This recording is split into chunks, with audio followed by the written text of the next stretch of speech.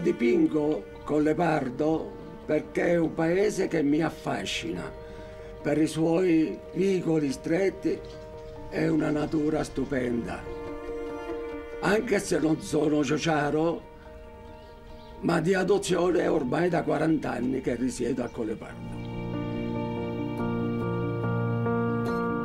Collepardo è un piccolo paese nel cuore della ciociaria alle pendici dei Monti Ernici in un territorio montano che si sviluppa a partire dai 500 metri di altezza.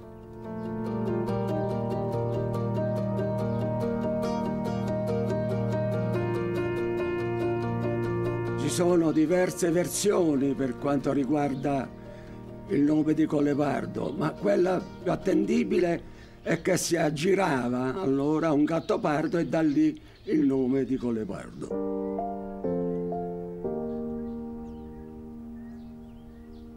Collepardo è detto il paese delle erbe, per via della ricca e variegata vegetazione che lo circonda. In questa zona, infatti, sono state classificate oltre 1200 specie di erbe, appartenenti a 150 famiglie diverse. La raccolta e l'utilizzo di queste erbe officinali a Collepardo è una tradizione che viene da molto lontano e nel corso del tempo si è consolidata a tal punto che ancora oggi ci sono famiglie che vivono di questo, come la famiglia di Marco.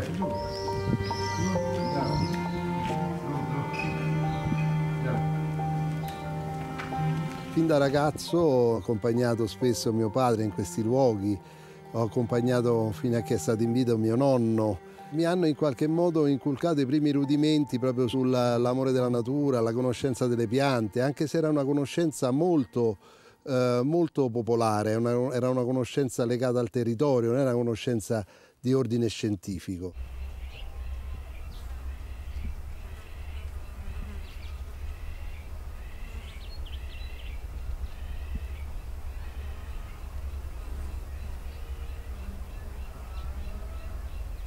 L'asprezza dei luoghi, l'isolamento che queste comunità montane hanno vissuto per secoli, accompagnato dal senso di solitudine che qui inevitabilmente si vive, hanno portato molti abitanti di queste zone ad andare via.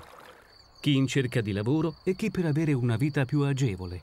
Ma chi è rimasto ha un legame indissolubile con queste montagne. Eh. Io ho l'abitudine di fischiettare quando vado alla montagna, sempre. Comunque esci, senti le capre e senti fischietta a me. E dicevo, oh, sempre fischiando mai, dice la gente. Però mentre fischio penso. A me mi vola la giornata, perché queste non è che stanno ferme là, tu ti stufi da stare là, queste in dieci minuti arrivano ai tre confini, sballano verso Veroli, poi girano. Quando fai tutto il giro arrivi qua si è fatto notte.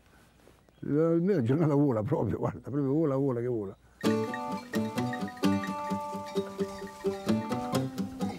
Anche Riccardo in gioventù è andato via da Collepardo, ma il richiamo e la nostalgia di queste montagne sono stati troppo forti e da una decina d'anni è tornato.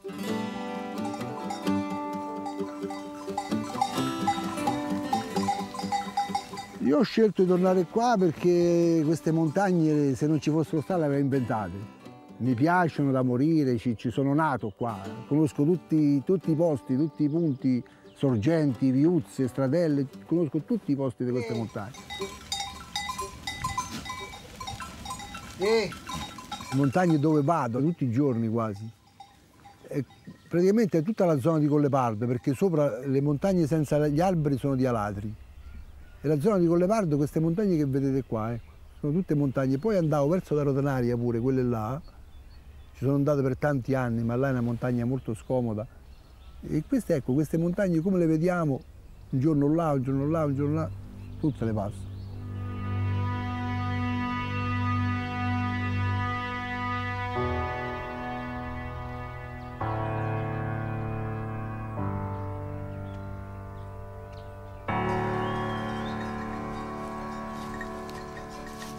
Come ogni giorno, Riccardo accompagna il suo gregge di capre su per le montagne e alla stessa ora Marco ha un appuntamento a cui tiene molto nel centro del paese. Marco è uno dei massimi esperti erboristi in Italia e ormai da diversi anni dedica molto del suo tempo ad insegnare le sue conoscenze ai più giovani. Andiamo che tardi. Insegniamo a riconoscere in campo le piante officinali, insegniamo a, ad utilizzarle nel miglior modo possibile. E negli anni questo paese, chiamato appunto Paese delle Erbe, è diventato un punto di riferimento inevitabile per tutti coloro che vogliono specializzarsi in piante officinali.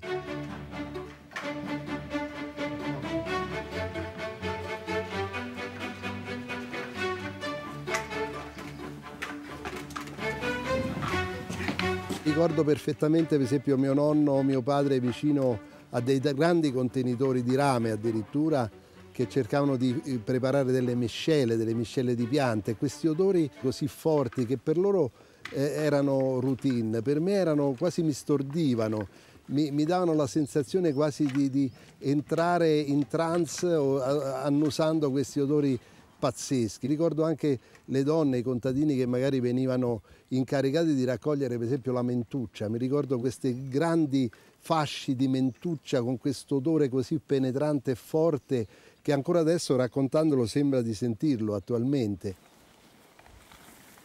Per anni Marco ha studiato per specializzarsi nel settore, riuscendo così a legare la tradizione popolare alla conoscenza scientifica.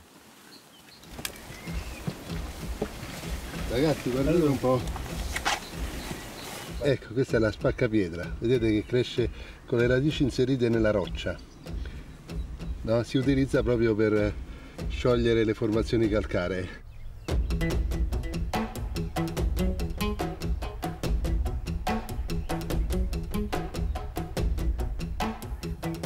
Ecco il sambuco, eh. Raccogliere le piante è una questione di esperienza e conoscenza. Bisogna sapere dove cercare e soprattutto sapere quando la pianta ha raggiunto il suo maggiore periodo balsamico. È anche consuetudine che la raccolta venga effettuata in alcuni momenti della giornata, che variano a seconda della specie e delle parti da raccogliere.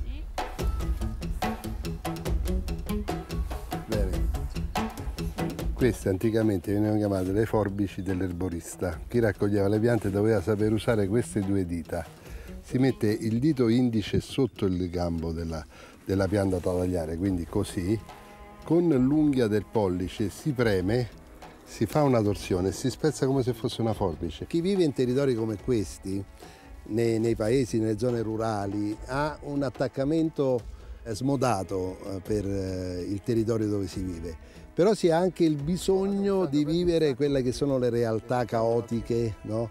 della città oppure di, di, di luoghi molto più frequentati. Ci si adatta, ci si organizza, si riesce magari a, ad avere una dualità nella vita e si riescono ad apprezzare entrambi perché poi si ha sempre la possibilità di ritornare in quel luogo dove magari riesce a staccare completamente la spina e riesce a stare in posti come questo dove eh, il silenzio regna assolutamente.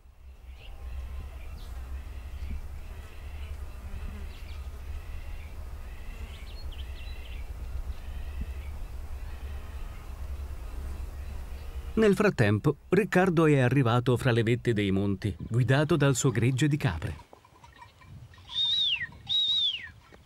I miei genitori facevano una transumanza con le bestie, si, andava, si partiva a settembre, si tornava a maggio-giugno, stavamo vicino al fuoco tutta la notte, mettevamo due bandoni così e ci dormivamo sotto, un telo, facevamo la, tipo una tenda, le baracche.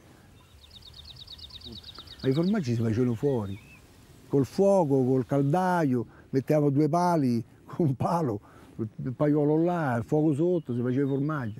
E così, stavamo fuori, sempre fuori, tutte le baracche.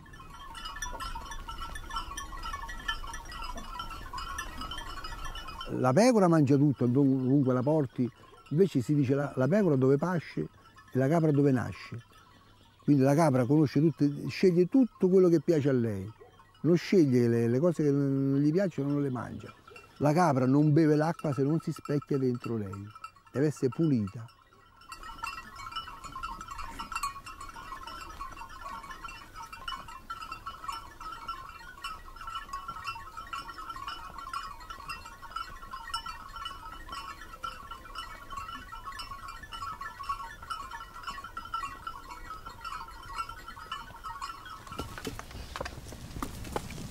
Alessandro, Federica e Simone stanno piano piano scoprendo la ricchezza del loro territorio, portando avanti così la tradizione erboristica che altrimenti rischia di scomparire. Alessandro, bisogna vedere se quella pianta lì in fondo è raggiungibile per la raccolta. Lasciami il sacco. Molti ragazzi non vedono l'ora di compiere 18 anni per prendere la macchina e andarsene a Frosinone, ad Alatri, dove c'è più movimento. Invece noi non vediamo l'ora delle belle giornate per andare in montagna e divertirci o raccogliere delle erbe. Si chiama raperonzolo. Che bella! La puoi lessare e ci prepari un sugo magari per le, per le fettuccine. Prima giustamente andavano per lavoro, noi oggi andiamo per divertirci, però con la raccolta andiamo anche per lavoro.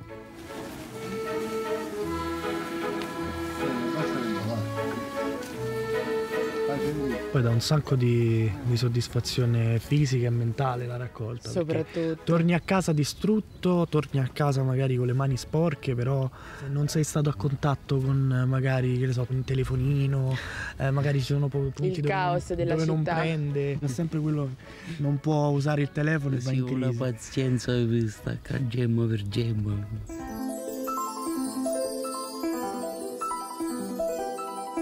Marco non solo insegna a questi ragazzi come riconoscere, raccogliere e lavorare le piante officinali, ma trasmette loro anche le origini storico-culturali della zona. C'è la leggenda del centauro Chirone che durante un combattimento fu ferito e venne proprio alle pendici degli Ernici, trovò appunto un'erba officinale che si chiama Centaurium eritrea per curarsi. È infatti qui a Collepardo che lo storico tedesco Febronio colloca l'orto del centauro Chirone, creatura della mitologia greca e precursore della scienza. Non è quindi un caso che alla fine del Novecento il monaco benedettino Domenico da Foligno, divenuto poi santo, arriva in un luogo chiamato Trisaltus, Tre Valichi, oggi Trisulti, situato appena sopra il territorio di Collepardo.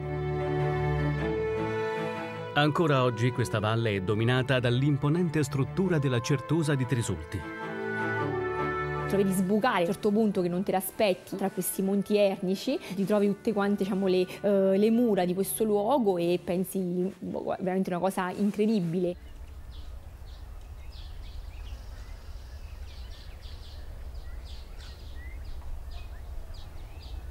Cristina è una guida turistica del luogo e fra i suoi itinerari qui in Ciociaria c'è anche l'antica certosa di Trisulti. Arrivi qua, vedi che non c'è quasi nient'altro intorno, fatto anche che il telefono, che ormai è una cosa che uno ci vede quotidianamente, non prende, quindi vuol dire quando stai qui eh, non devi pensare a nient'altro, devi stare in contatto eh, con la natura, con Dio se vuoi, ma comunque sia rimane no, quest'aurea di, eh, di grosso fascino, anche di vita quasi un po' ehm, eremitica. L'abbazia originale si trova poco distante dall'attuale certosa e di essa restano alcuni ruderi. Quella attuale fu costruita nel 1204 nei pressi della precedente, ma in un sito più accessibile, per volere di Papa Innocenzo III, e fu assegnata ai Certosini, uno dei più rigorosi ordini monastici della Chiesa cattolica.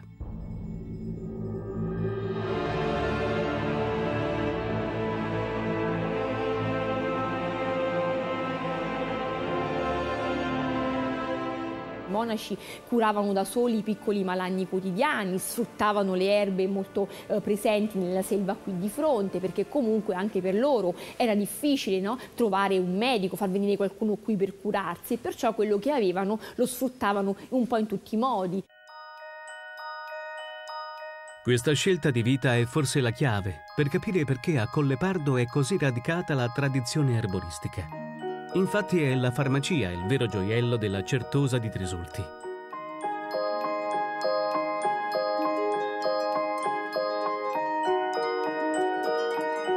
Realizzata nel XVIII secolo, segue lo stile pompeiano in voga sul finire del Settecento. Nella farmacia ancora oggi si possono vedere i vasi in cui i monaci conservavano le erbe medicamentose e i veleni estratti dai serpenti.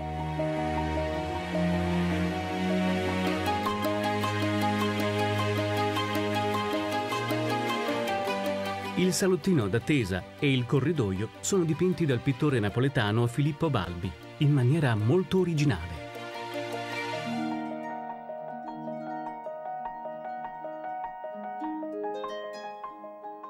Corridoio è eh, famoso per alcune scene, come può essere quella del ricco e del povero, che è quasi una parodia del ricco grosso e arrogante, del povero goffo e dimesso. E poi c'è il raffronto anche nel mondo animale, dove c'è il pelicano con il becco stracolmo, ma chiuso per non far prendere nulla all'altro. E si vuole dire invece che chi ha tanto dovrebbe aiutare chi ha bisogno, perché non conta nella vita la ricchezza materiale, non conta il potere, perché poi di fronte a Dio siamo tutti uguali.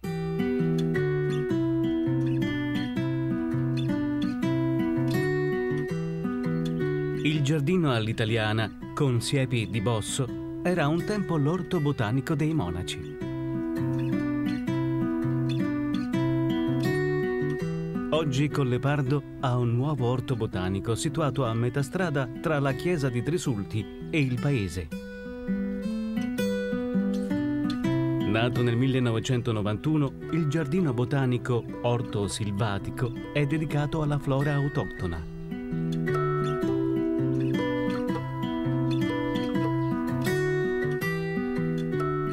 Questo è il gialgiolo della marzica, Iris marzica.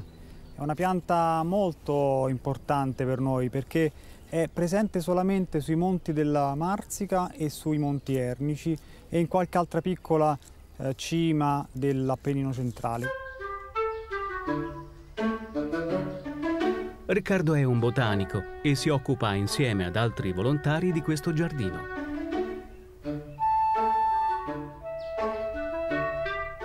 In uno spazio di quasi due ettari vivono numerose piante arboree, arbustive ed erbacee. Si contano circa 400 specie vegetali, oltre agli animali tipici dei boschi e delle zone aperte. Non è inusuale infatti vedere il magnifico volo di un rapace come la poiana.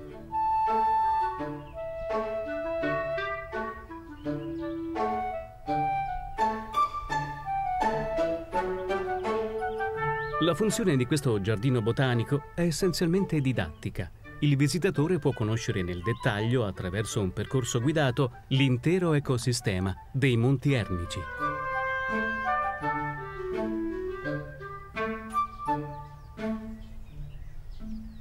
Molti visitatori quando entrano nel nostro giardino botanico ci chiedono questa pianta si mangia, questa pianta qual è l'uso, qual è la finalità, a cosa serve. E tutte le piante servono a qualcosa. Qualcuna serve a noi, qualcuna serve ad altri animali, qualcuna serve ai funghi. C'è un ecosistema che è molto complesso e quindi ogni pianta, ogni organismo ha il suo ruolo e deve essere per questo rispettata, tutelata e conservata.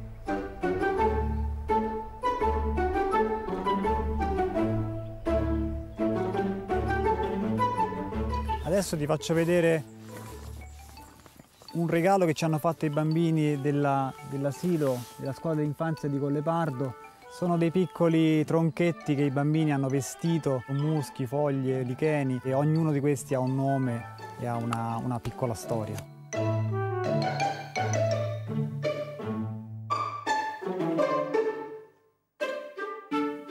Questo progetto, che ha appunto radici molto lontane, è andato avanti anche in altre forme in questo territorio. Ad esempio abbiamo eh, da qualche anno allestito anche un museo naturalistico nel centro storico di Collepardo, proprio per avere anche un'altra possibilità di far conoscere le caratteristiche di questo territorio, farle apprezzare, divulgarle e quindi un museo naturalistico che è un ambiente completamente diverso da questo perché è un ambiente chiuso eh, all'interno di, di un edificio del centro storico ha una funzione che è differente ma complementare a questa. L'Ecomuseo di Collepardo difende ciò che è in superficie, ma anche il sottosuolo. Infatti, essendo questo un territorio d'origine carsica, possiede una ramificata rete sotterranea di grotte. Le grotte Regina Margherita, in prossimità del torrente Fiume, si distinguono per la presenza di un'immensa sala, nella quale si stagliano enormi stalattiti e stalagmiti, che, viste in penombra, stimolano la fantasia nell'immaginare volti e figure, tanto da meritare il nomignolo di Grotte dei Bambocci.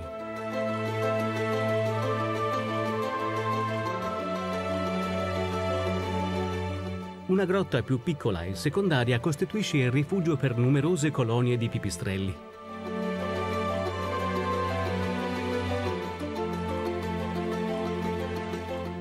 Anche il Pozzo d'Antullo si suppone fosse una grotta, che in seguito al crollo della volta è oggi una grande voragine profonda 60 metri e larga 300. Nel fondo del pozzo, coperto da vegetazione, sono presenti delle curiose stalattiti curve, generate probabilmente dal vento proveniente dai cunicoli laterali, che modifica la deposizione dei cristalli di calcare.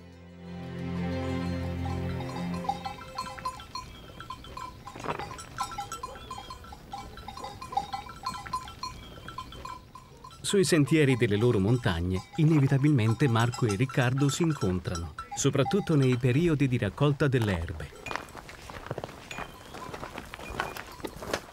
E proprio da questi incontri è nata l'idea di collaborare per cercare di creare nuovi sapori. Marco ha infatti preparato e portato a Riccardo un estratto di cardo, con il quale il pastore proverà a fare dei formaggi con un caglio vegetale. Dove state? La montagna? Siamo stati a raccogliere un po' d'erbe. Uh-huh. Ascolta, quella prova che avevamo detto di fare, io ho preparato il liquido Ciao. da utilizzarsi come caglio e l'ho fatto facendo il succo della carlina, che è quel cardo che vedi quando vai sopra, quando lo incontri, dopo i 1000-1200 metri circa. Eh vabbè, cominciano a starci. Cioè sì. stanno, no? Allora, se facciamo sta prova, lo, lo utilizzi per, otte- per ottenere il formaggio, che già è buonissimo di suo quello che fai, facciamo sta prova per fare col, il formaggio col caglio Vi vegetale. informerò. Come no? Grazie mille. Buon lavoro, buon a lavoro. disposizione. Buon Grazie lavoro. a voi, arrivederci a tutti. Ciao, arrivederci. Ciao, buone cose. ciao. ciao. ciao. Riccardo e Marco con il caglio vegetale stanno provando ad unire i loro due mondi, quello dell'erborista e quello del pastore.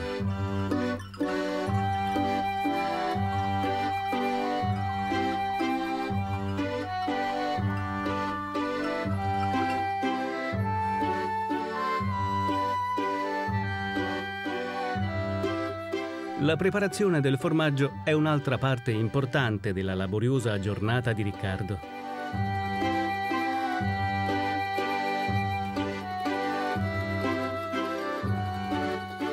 Dentro bisogna vedere con gli occhi della mente per fare con le mani. Sto, sto vedendo il formaggio che deve diventare come una palla. Come la luna deve diventare. Per fare questo mestiere ci deve avere un po' di passione, ti devono piacere gli animali, devi non pensare che oggi è domenica, non pensare che oggi è sabato, che è Natale. La mattina inizia alle, il più tardi alle 5 io sto qua. E la sera se sono le 10, le 11 non rientri mai. O che c'è qualche impegno, o che ti fermi a fare le formette, o che ti fermi a, a finire da mungere, o quando partoriscono eh, devi stare la notte e giorno perché fanno tanti doppioni, devi dei figli, li devi separare, li devi accostare. Eh, eh, lo- cioè, mi piace farlo, ma a un certo punto è pure una vita proprio dura, dura, dura. È dura, capito?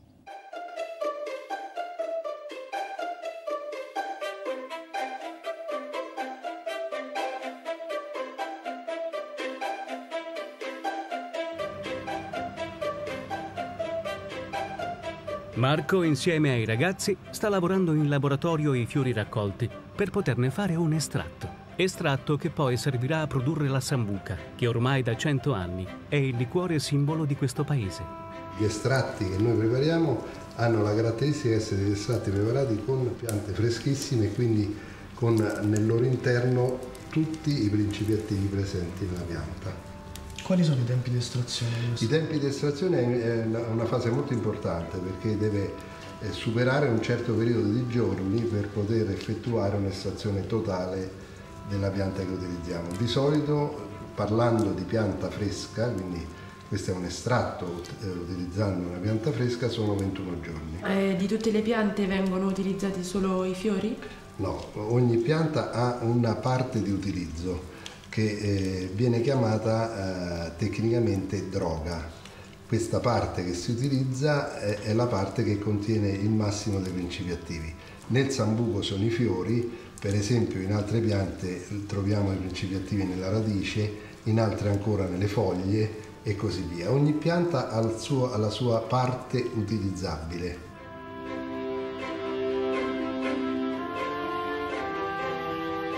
Dispiacerebbe veramente moltissimo perdere questo patrimonio, che è un patrimonio anche eh, di ordine culturale che riguarda il territorio e quindi sto cercando in ogni modo di favorire l'interesse affinché eh, possano dedicarsi in un futuro al, al proseguimento di questa attività.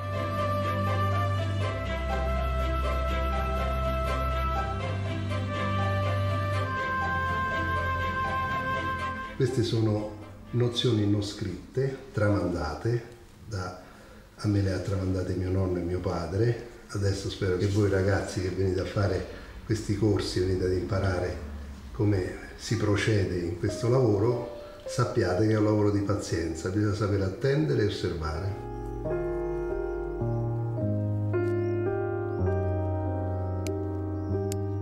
Questi ragazzi non perdono occasione per dimostrare il loro attaccamento alla tradizione e alla loro terra. Infatti, da qualche anno, insieme ad altri giovani del paese, hanno riportato in vita una festa mai veramente dimenticata, la festa di San Giovanni, che si svolge il 23 giugno, giorno della nascita del santo.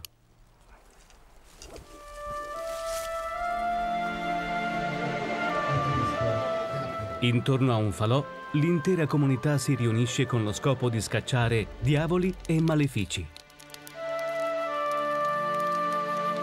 A Colle Pardo, i veri protagonisti dell'evento sono la pianta dell'artemisia e i fiori come l'iperico, chiamato anche erba di San Giovanni o scaccia diavoli, con i quali avviene il tradizionale battesimo del compare. Ognuno, munito di un mazzo di fiori, battezzerà colui o colei che da quel momento diviene compare di San Giovanni.